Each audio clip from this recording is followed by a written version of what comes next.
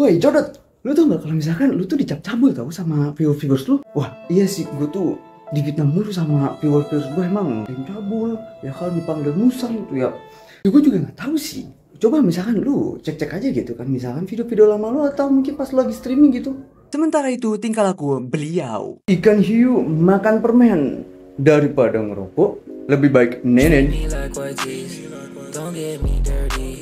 Hai Mas, kamu mau nggak aku kokok? Hai manis, kamu tahu kan harus apa?